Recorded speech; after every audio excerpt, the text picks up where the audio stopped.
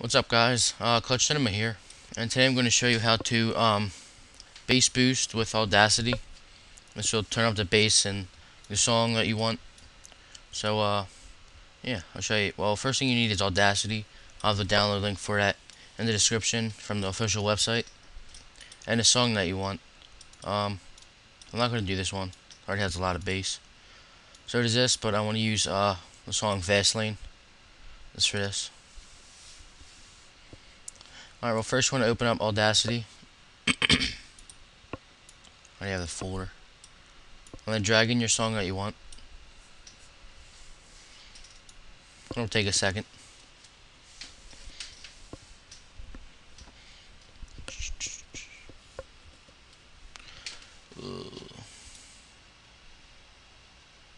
Almost there, almost there.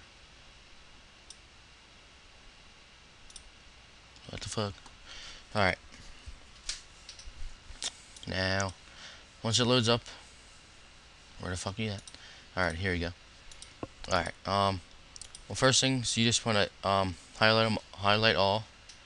Just go to, uh, just hit Control A, that's the easiest way. Control A. Then go up to Effect, and first thing you want to do is go to Normalize. And put that on 8 decibels. So once that's on 8, click OK. And I'll do this shit again.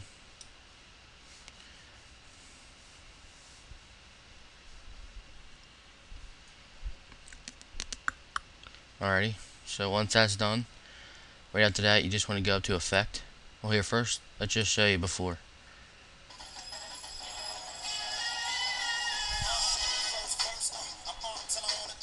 It still, still sounds really good, but just bass boost a little bit. For the frequency, I want to put it to 150. And for the boost, you want to put it from anywhere to like 15 to 20. So shit, I said like yeah, 15 to 25. I prefer 20. I think that's the best one. Click OK. Now it's gonna do this again. So uh, yeah, like it sounds really good if you have like a big stereo or something, big system. Um, I'm just using my laptop right now, so doesn't have, won't sound, know, you can't like feel the bass or anything. But I have a big stereo too, so. But yeah, it does boost and it works really well. So, yeah guys, that's pretty much it. If you have a big stereo, just go ahead and try this out. Wake everybody up in your house. Pretty fun. Um, so yeah guys, just remember to rate, comment, and subscribe. And uh, have any questions, just let me know. Alright, thanks.